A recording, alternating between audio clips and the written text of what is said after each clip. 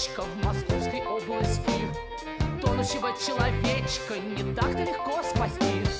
Если в слове «клязьма» я заменить на «и» То получится клизма, правда смешно, хи